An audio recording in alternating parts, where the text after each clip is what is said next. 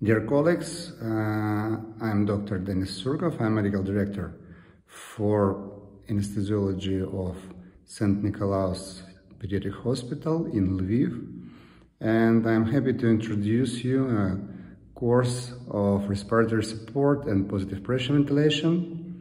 Uh, it will cover basic principles of gas, pulmonary gas exchange, uh, types of VQ mismatch, including dead space ventilation and pulmonary shunt, uh, uh, differences between volume control and pressure control ventilation, uh, non-invasive ventilation, minimal monitoring, respiratory monitoring, blood gases analysis, and uh, for the ending, the using of ultrasound uh, for PEEP adjustment during positive pressure ventilation and I will be glad to see you during the our next uh, webinar uh, which will be started in June.